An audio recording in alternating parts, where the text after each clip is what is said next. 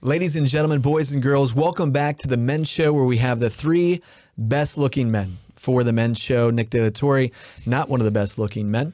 Rob Holler, definitely not one of the best looking men, but the three of us together. Today, we're talking about men and the movies in just a moment.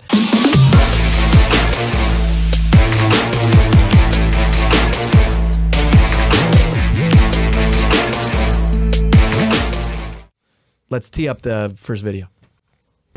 Have you ever dreamed of visiting Paris in the fall? Seeing the beautiful Eiffel Tower lit up by a sunset, visiting and venerating holy locations of the Sister Saints of France in Lisieux, Paris, Lourdes, and more. This fall 2021, join Select International Tours with Claire Swinarski and Catherine Whitaker, along with a host of other powerful Catholic women, on a once in a lifetime Seine River cruise pilgrimage in France. Join our friends at Select International Tours and Cruises with over 34 years of experience. They are the perfect company to help you experience pilgrimage. To learn more, visit selectinternationaltours.com slash awaken. Bon voyage! They're, they don't know why we're advertising a women's cruise on the Med Show. Well, wait a Like. I'm watching that, I'm I've thinking, you know, that- I might go, this I might go on that. I, I go on that, and we're not allowed. I've heard that the, that the men's show is the clear favorite for women in the Awaken Catholic audience, so They're maybe it makes sense. I don't know. Could be. Could imagine why, but All right, so we're going to get into the topic today, unless I have to do some more advertisements. I'm not sure, but thank you to our sponsors, Select. Uh, it's going to be a great cruise.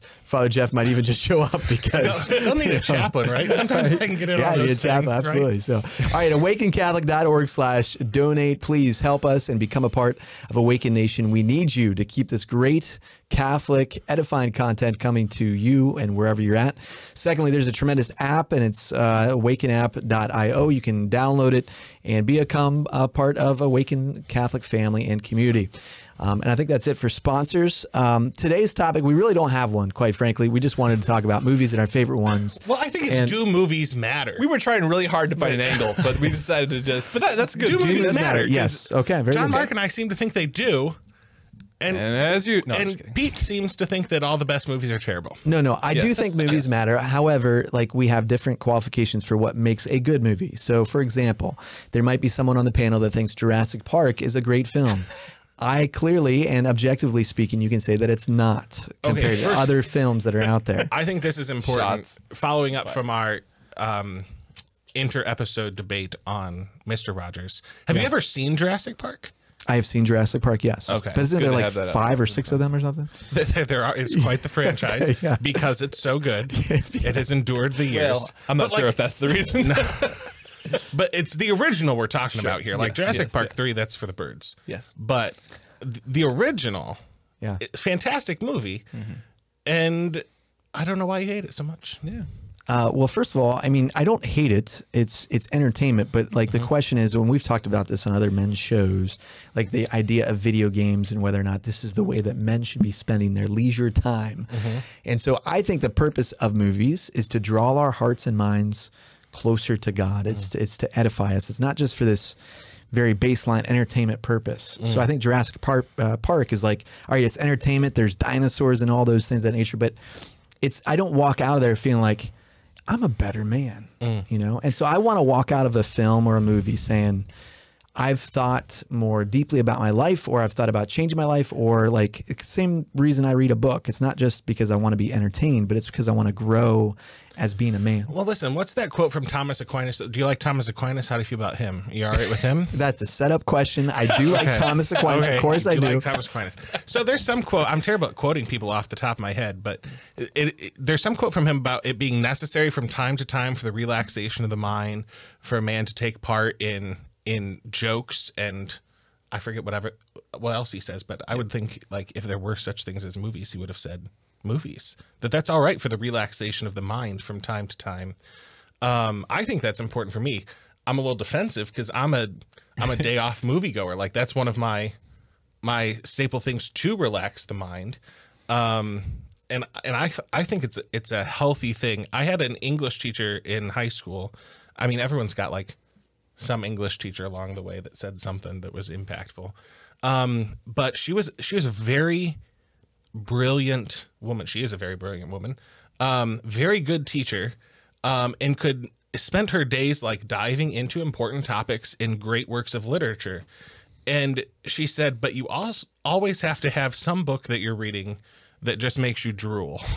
That you don't have to think too hard about, that that you're not constantly looking for layers and layers of meaning because that's good for the relaxation of the mind. It's engaging the mind, but it's not it's not strenuous. And so when I when I saw um this teacher who I admired very much and who is very smart and who is very um, committed to to literature, saying, you know, but you got to have a drool book as well. I sort of think, yeah, there's there's im- importance in good cinema that has layers upon meaning and moves the heart, and I like movies like that too. But I also like Jurassic Park. Yeah. It's it's a drool movie. Well, and I don't know if I agree with it necessarily being. A, I mean, there's some good content in it. I think it is an exciting story, and as a sci-fi story, I mean, I don't know if you've read any of Michael Crichton. Uh, he was the author of the original story that it's based on. You know, science fiction uh, as a genre is a really important genre. Mm-hmm. It's the most philosophical of the genres. It, it, it's able to take up questions, put them in a theoretical context, and play them out so that we can consider them. Should man can what's the what's the quote you know Oh, it's Ian Malcolm. You spent so long wondering if you could, you didn't stop to think whether or not you should. Yeah, and he and we we have That's this, great. We have this great Why playing hate- out of, of human hubris. Important moral You know? questions All right, being so- posed in fun ways. Okay, so it's Got a great score. Uh, That's I mean, it's got a great score. It, it and it does have those moments. It's not all drools, I suppose, but. But you don't have to sit. That's that's like a smack you over the face kind of thing. Yeah. You don't have to like unpack the the meaning of that quote. It's just very clear. And but that's a good example of it. So I want to talk directly to you, my friends. Is this about the awakened nation again? we want to see a better nation. So the question is, how do we get there? Um, so, okay, so there's a couple different things here. Um, eh, engaging in a drool book, as you call it, um, I think there's a different way that that stimulates the mind than sitting like a potato before a drool movie for two and a half hours. Mm-hmm. Because at least in the drool book, there is a little bit more engaging of the intellectual mm-hmm. senses. Like your mind has to create the picture of what you're reading. Mm-hmm. When like Jurassic Park is just presented to you and you're a, a much more passive recipient of the drool, if you will. So that's where I would say, okay, I would be more comfortable saying, okay, it's okay to lose yourself a little bit more in a book than say a Friday afternoon for two and a half hours into a movie, particularly because like that can quickly, especially in our culture and society, become it's I have a friend named Jonmarc, he talks about prudence and all these things all the time. But it's that sense of like, you know, we enter into whether it's you know Netflix or whatever the the streaming service is. I mean, you can just drool and drool and escape reality a lot. But like, so what part what part for you does it play? I mean, is it once a month? Is it once a year? I mean, how do you determine like what's good well, for this you is to the difference. escape? I think you're changing the argument on me a little I'm bit not here, changing Pete. Yeah, because there's a difference between going to a movie and watching a movie just for the pure entertainment value of it without deeper meaning or whatever, Mm-hmm. and what you're describing as sort of like losing hours and hours and hours to this and Yeah. and binging on movies. Like if you're going to go to the movies all day, you're going to do like some like Mm-hmm. 12 hour movie marathon or binge an entire season of something on Netflix. Yeah, I think that's a very unhealthy thing. Um, of course, but that's very different from um, from thinking that you know this two hours is is a waste of my precious time because it doesn't have deep deep effects in my life. well, and, and I don't know if I want to use the dr- like dr- we have this t- term now that we're using as our as our Thanks. vocabulary. Shout out the- to Mrs. drool. Who will never watch. She this, might have but been exaggerating a little bit, maybe hyperbolic with that term, because I, I English feel like teachers can do that we can we can you know make some distinctions. I mean, there's certainly movies that that we pro- probably all three of us here would agree that Mm-hmm. there's never time for that. It is either so immoral or just so dumb. Absolutely. they're probably there. Same with books too. You know, even across that genre. You know, but when we talk about like a movie like a Star Wars movie or a mm-hmm. Jurassic Park movie, part of what it is is this, it is this really interesting, uh, exciting a spectacle of mm-hmm. art. You know, it, I mean, okay, maybe you don't like Jurassic Park, but they, there are these movies that the, bringing together the music and the good, mm-hmm. the, the fun, interesting acting, a good combination of the comedy and the and the and the you know the, the drama of that. Like it is a really moment in movie history. It's a it's a really interesting experience, and there's a and to make a, a an intentional choice, saying, "Okay, I'm, I've worked a long, hard week. I'm going to go to the movies Mm-hmm. and see this this uh, Jurassic Park movie." That is really different than be like, "Okay, well, I'm for the fifth day in a row. I'm I'm I'm uh, I'm bored, and I'm just going to waste this Right. afternoon on whatever happens to be on the TV." I have to stop doing things that are actually productive now and go yeah. To to drill for a while with that intention. But that's like that's another great example though with Star Wars because that's a, another movie that I wouldn't put like that's not on the same level as like these great cinematic things. George Lucas himself said to all these people who are sort of like Yeah. really into all of it, he's like, "Come on, there it's a space it's a space western movie. It's just it's it's not that much." Wait, now um, we're going to argue about uh, Jurassic No, well, I'm going to get hate mail for that, I think. But um, like the Star Wars movies, is a great example that as those come out, so I've seen all the Star Wars movies. That's become a tradition with my nephews. Nice. That um, whenever a Star Wars movie comes out, they know they're going to go with Uncle Jeff. We're going to go see the Star Wars movie.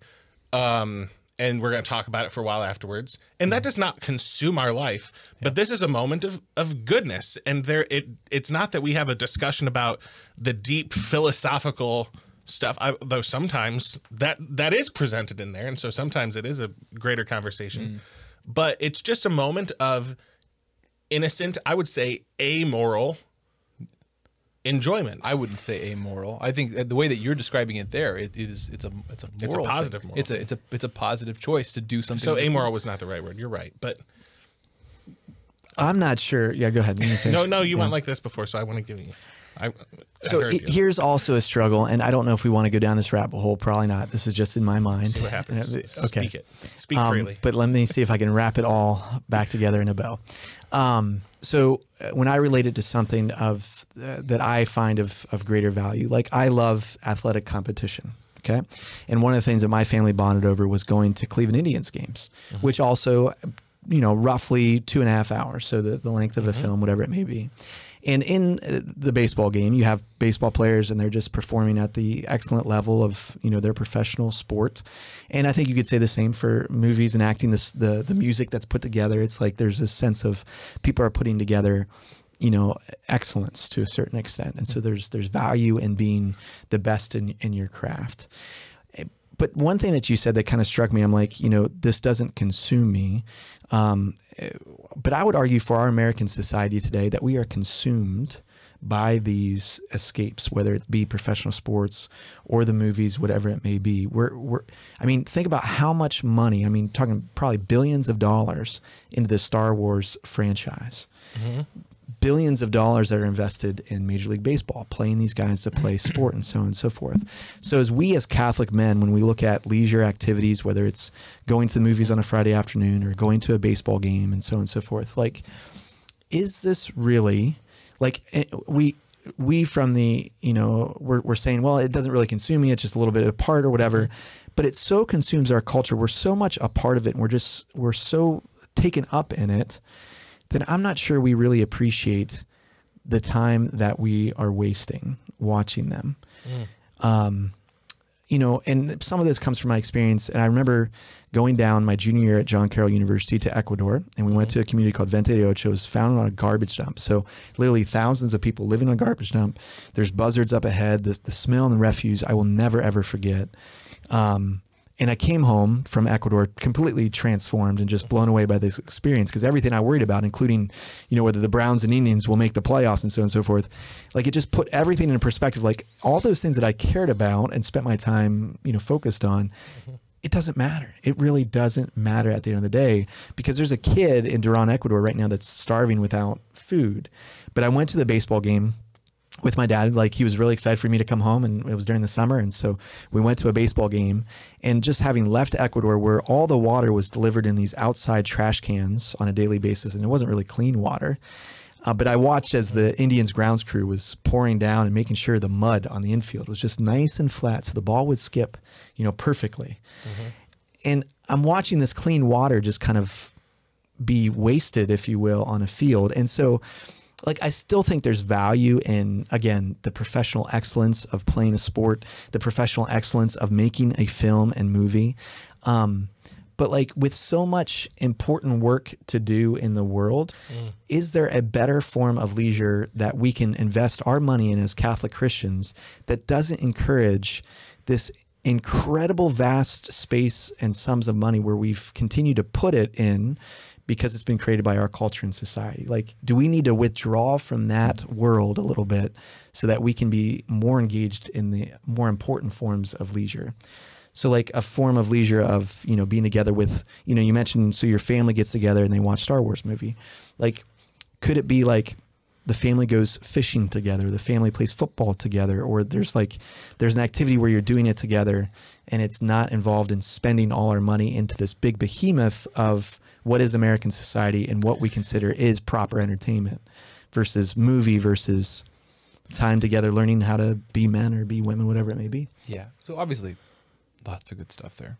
You know, but, but one of the issues, of course, is there's there's two kind of realms of, of issue there. One is just the question of what our society is actually doing with this stuff in general, um, versus you know what this looks like in isolation. Because in any like we have to figure out the principles involved here. Because the reality is, if we were living in like an Amish lifestyle with where all this stuff was aside, we would find within our community, within our lives, the same dilemmas that we'd have to discern, the same questions of, you know, higher or lower, which do we use, or, you know, the culture versus pop culture, those kind of things. So we have to have, we have to come up with principles and reasonings here, reasons here that can be applicable to different types of situations. And I had another point there I was going to make. I can't remember what it is. But I, like to me, the, again, the problem with sometime with with some of the the reasons we come up with this is that we couldn't apply it, I guess, universally to di- different circumstances because, um, I mean, Lewis wrote about this a little bit. He, ha- he has a couple essays about this about like when there was a war going on, should we still be teaching university? Should the artists still be making art? Should the writers still be writing? Because you you need to have an argument that that doesn't um, eliminate that. Uh, because that clearly seems like, well, no, we still need a culture. We still need art. The artists should still be doing art if they're not uh, away at the war and not be like, well, there's no point in my art anymore because there's a war happening. No, there's still a place in in human life for those. In fact, we almost need to continue to build those, um, well, art in particular, even when there are awful things happening in the world, precisely to pr- preserve that aspect of human life where we do some things, uh, we, like we, we play for the sake of play. Like there's still a place for that. So we have to have arguments that you know address that can address you know some of our some of our indulgences or our overindulgences of our culture, without at the same time eliminating the underlying um, I don't know things that are involved there. Yeah.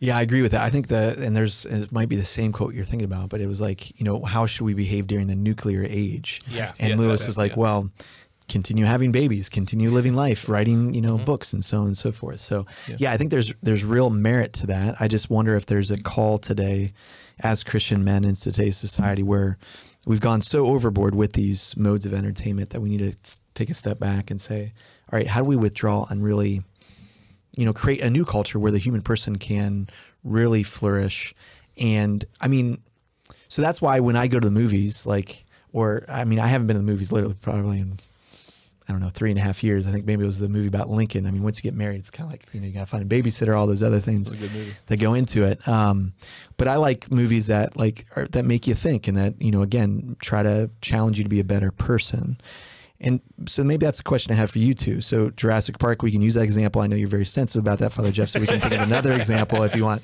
But Only like, on principle. but but do you, does that make you?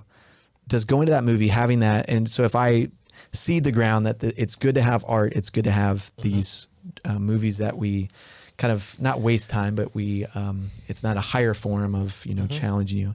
Like, how does that make you? a better person does that make you a better person like what are your thoughts on like I so when the question comes up about leisure and how do you enter into a Sabbath rest, um, the question is resting well. But I think that how people rest well within the realm of morality can be answered in different ways. Um, and so, how does watching a movie that um, is perhaps not faith based or politically uh, expedient or that's just sort of a entertaining movie a dinosaur movie a star wars movie a comic book movie what um is that it's it's for the relaxation of the mind, which I think is is a necessary part of the human experience. And I, and I think it, it reminds me of something because I've been th- part of what I've been thinking about this discussion is the question of like culture versus pop culture. Like we recognize that there is great art and there's a place in our life where we need to to expose ourselves to stuff that's beyond us, um, and that's an important an important activity in our life. You know, maybe to read literature, philosophy, theology, things that are beyond us, precisely to push ourselves further. But there, I think there is a place too in culture and in family and in an individual's life for some element of pop culture, in the sense of there being not, certainly not sinful things, but popular things. I mean, think about it. Uh, uh, Chesterton has this quote about small talk, where he's talking about how, like, what do we make of small talk? What do we what do we make of this this this human custom of coming together Oh, and talking for about the weather? And I do too. but he points out that the, it's actually this this sort of inaction of, of of the incarnation, where God condescends. He comes down to our level, and he and he what does he do with the apostles? He eats fish and. You know, well, we- we've had a discussion about whether Jesus joked with the disciples. That's a different, different conversation. Pete doesn't think so. Um, what? But he certainly lived a human life. He went to Yeah. a wedding. He had Yeah. wine. Like he, Right. you know, he maybe he even danced at that wedding. Pete, you know, I mean, shocking. as And didn't sound he know that there was a whole world that needed and, converting? and, Yeah. and what's happened there? So uh, the, the individual person, or in that case, God Almighty, has come down to the, the the common level, the popular level, not to sin, never to sin, but to but to engage mm-hmm. in something that is is popular. And I think of this in the context of a father. Like I would love, I often mm-hmm. will, to my frustration, my kids would just be like. Mm-hmm. They're already reading philosophy. They're already on their knees. They're already saints. I will that kind of stuff all the time. I pray for it all the time. But in the reality is most days my kids want to talk about like fairies or some movie that they watched or some book that they're reading or some story that they want to tell me that for the fifth time in the row. And I think and, that's and so there's there has to be a, a mix there where I want to call them deeper, but I also need to come down to their level and and just enjoy something with them so that I can invite them higher. and I think that's you struck something there with what appeals to your your children, what appears appeals to the innocent. Um, a lot is the story. Yeah. So a, a what makes a good movie or an entertaining movie is the telling of a story.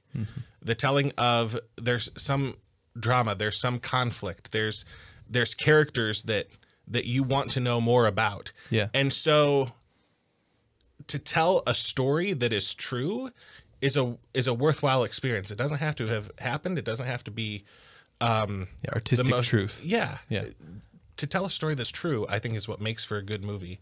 Yeah, I- And so how does that make me a better person? Well, um me personally, I'm I'm an evangelist. I'm I'm meant to tell the greatest story ever told. And so to understand how stories are told, to experience good storytelling, um, and and to simply enjoy that experience, I think is a beneficial thing. I think it's a good thing. So bringing up the kids example, I think is a really good, important point because I've just noticed in my own children's lives, um, whatever is fed to them is what will kind of come back out. And so if Gianna watches Pinkalicious, uh, you know, three days straight, she's going to be talking a lot about Pinkalicious. But if we turn on Is that a bubble gum? And What is- Pinkalicious is a show about a young girl. celibacy is showing here. she she uh, just turns pink because she eats a lot of you know Okay. pink whatever. I don't know. So anyway um but whatever gianna's watching is what we'll end up discussing. But like we just finally got formed on our tv and everything like that. And like they've been watching the shows about jesus. And all gianna's drawing now is like you know the virgin mary. It's like it's so beautiful. But i think like just like kids are that way we're that way too. And like we're called, you know, Romans 12 is like be transformed by the renewing of your mind. Um, and it kind of goes back to what we were talking about the other show. Like, why are we so uncomfortable talking about Jesus? I think it's because a sense of like what we filled our minds with so much of this other stuff. Like, we don't, yes, we need time for the mind to relax and for the mind to get away from the stresses and the worries of the world. Um, but is is films, is movies the answer to that? Like, isn't time before the Blessed Sacrament, an hour before the Lord, where it's contemplative prayer, more renewing for our mind, more of a Sabbath than say this this particular form of entertainment? I think we would all probably say, well, yes. Sure, I'm not going to argue with that. Well, but okay, isn't the. Catholic response usually both and? I don't think I don't understand why one excludes the other.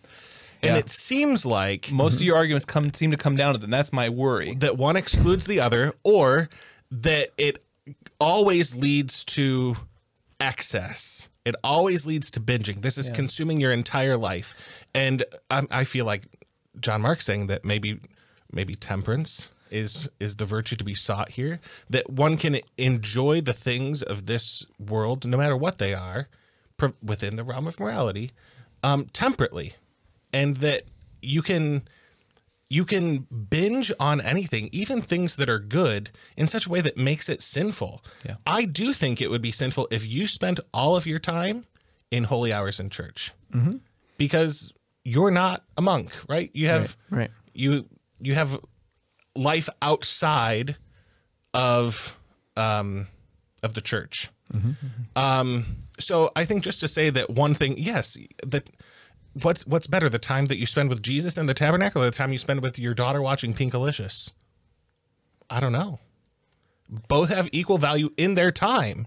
You spending time with your daughter, And and certainly there's a there's a like you you might yeah perhaps you know on form there's a better show that you wanted to watch than Pinkalicious Mm-hmm. certainly but again uh, what the reality is that any situation you were in any any time period in history any technological situation is that there would be stuff that our family members and our children want to talk about Mm-hmm. and want to focus on that just don't interest us and then there's this opportunity where we say okay wait a minute I'm going to stop Yeah, I, the wa- I want to talk, but I'm stopping Are myself. we from misrepresenting, talking. no. Yes. First of all, I am misrepresented all the time on this show. I do think Jesus told jokes that he you, laughed, all those things. thank goodness. Absolutely, you guys took a pretty strong line on that one I don't know It, it's just so I, I get it in the context of you know whether a raising our kids or b evangelizing that we condescend to uh, the the level of the individual that they're at that we share in that with them.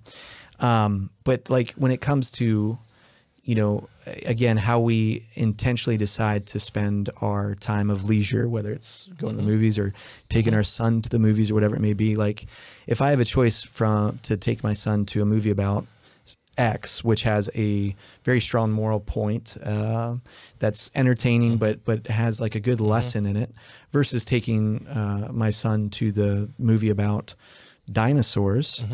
Um, I, I might choose uh, in that limited amount of time I have with him to take him to that moral, morally. I was once movie. told recently though that um, that th- truth should be taught to someone in the mode that they can receive it.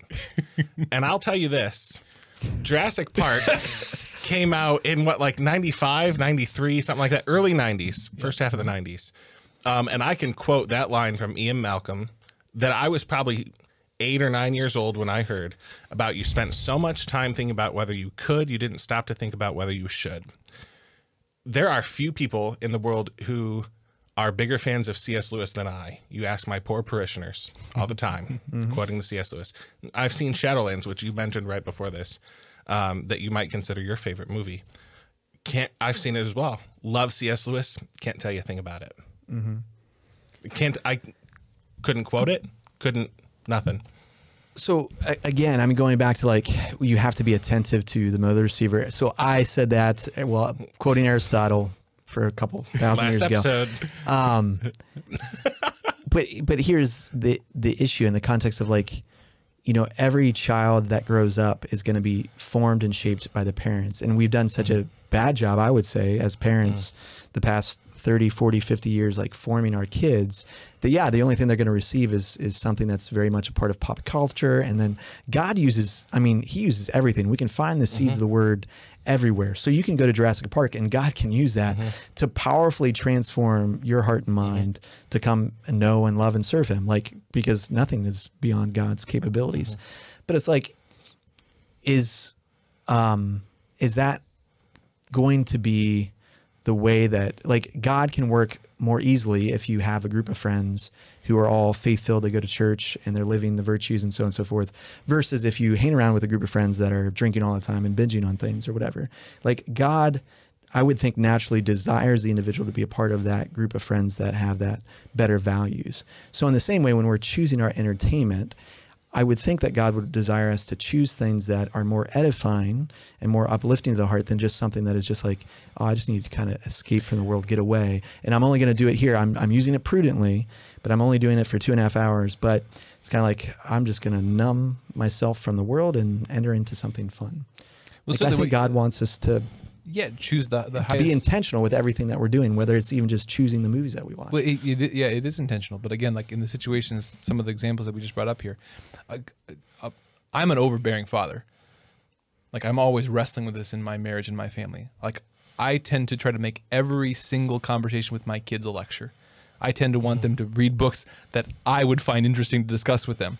And there's a place for some of that. That's part of my role is to lecture a little bit and to mm. teach and to to invite them higher but the the place that I fail at in my in my fatherhood, one of the places, many many many places I fail at in my fatherhood is that it it's always an afterthought, like oh. I spent this whole day putting off my kid because he just wanted to show me this Calvin and Hobbes comic strip that he read, you know, during his spare time after he got his schoolwork done. And I, in my mind, I'm thinking of no, no, I want to get, I want to do a catechism lesson, and I want to talk to him about this, this, this mistake that he made, and all this kind of stuff. When you know what, actually, the right, the prudent thing to do is to in the in the midst of all that is to make time. And, and it's not just a concession. See, that's one of my key uh, my key points here i think is that that's not just a concession to the situation at hand. That is the right thing. It's not good enough. It is the good thing. And perhaps i'm actually discovering some needed humility and other virtues that i lack in when i finally say you know lord this is what you're calling me to do is actually to go read some calvin and hobbes with my kid and then what I'm actually going to find in that is that that person then is actually more open to the other ways that I'm supposed to to to speak into their life. Yeah, I don't disagree with that. I think it's just the context of like, do we introduce Calvin and Hobbes in the first place in the home? And I still say that it, that whatever situation you're in, Yeah. you're never going to be able to, to insulate them from the world, mm. Oh, from their just own watch from this. Pete's going to try, darn it. well, I mean, but again, you- you already admitted Right. that it's too late. I mean, Pinkalicious has happened, man. The Pinkalicious bomb has been dropped. That's my wife's fault. Oh, just kidding. I love you. Oh. hon. Cut that. Cut it. Cut it. No, I'm just kidding. No, I. But there's always going to be something, right? There's always going to be something. I think that's even part if of you the lived out in the experience. woods. It's part of the human experience, absolutely, yeah. Uh, but I think like, but we're talking about our choice, our choice to bring into our kids' life, or our choice to go into the movies or whatever it may be. Um, so there's going to be some things that we have to kind of react to. But if we're being proactive as far as what movies we we watch and we choose to pay our money for, so on and so forth, like that's the tension or question I think we have to kind of I have a wrestle with. I have a picture Bible uh, that uh, it's. Uh, if I had an example here, people would probably recognize it. I think it was a popular one. I had it when I was a kid. Now my, my son has it when he's a kid. It's funny when the kids flip through that, what the girls gravitate to and what the boys gravitate to. Of course, the boys gra- go through and find all the all the violence. you know, like, and that's what I did. I would flip through there, head. and I would find. Oh man, David just nailed Goliath. You know, there are other parts of the scripture that I would constantly like to be, you know, let, let's come over here, you know. But again, even in the context, if that was the only book he had, I would have to have this balance of, well, okay, yeah, I'm, let's talk about this story that really intrigues you. But that's not the only thing I want to invite you further. I have to do both. And if I can't do both, I am going to fail to be able to help that, be able to, to be in relationship with that person and draw them up. Yeah. Don't disagree, but let's end the show with what our favorite movies are. So, Father, we'll start with you. Can we have John like a- Mark, a couple, a few? then- it's No, so hard see, to do this is one. this is the thing is that Pete originally asked me this question Yeah. on live radio once. I was unprepared for it because there are a lot of good movies, and so I just picked the first one that came to mind at that moment and said much to Peter's sca- scandal. that's just Jurassic Park. It's a good, solid movie. Very quotable. Good special like, effects. is that is that your Last the favorite favorite? Like you would I'm I'm sticking with it Okay, on principle now. Okay. I'm I'm doubling down. judge for yourselves. oh, is it my turn? I see. Go ahead. What's your favorite movie? Well, um, I I think it would be the Lord of the Rings movies. They turned out really well. Books to movies don't always go that really well. We like it so much that um, uh, last year it came to Holy Week, and the world was in crisis with the pandemic, and we decided, you know what, this year for Holy Week. We're gonna watch in chunks the entire extended edition of all the Lord of the Rings, timing it just precisely so that when the ring is dropped into Mount Doom, and that e- great evil is eliminated from Middle Earth, it times right with uh, the vigil of Easter. So There you go, Pete. You can let me know what you think about that on camera. You can you can tell us later which one of us there were more probably better by. ways, but you know, I thought we thought that that was what the family needed that uh, particular weird Holy Week. You know, So, oh, And. Peter, is Pinkalicious a movie, or do you have to just watch that in episode It's fashion? it's episodes cartoon PBS. Uh, so far, I haven't found anything scandalous on it, so I'm okay, with it so far. Um, you mentioned Shadowlands, which is definitely one of my favorite movies, but It's a Wonderful Life is also up there as well. cry every time I watch it. That's what we're going to talk about next time on the Men's Show. Is it okay to cry at movies? Check us out next time. This show and all media on Awaken Catholic is made possible by the Awaken Nation and the Hallow app. The Awaken Nation is a community of people like you who support all things Awaken for as cheap as a cup of coffee a week and get access to exclusive content.